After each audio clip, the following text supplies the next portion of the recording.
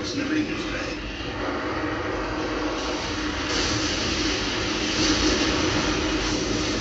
Marcus, run! The thing's gonna flatten us!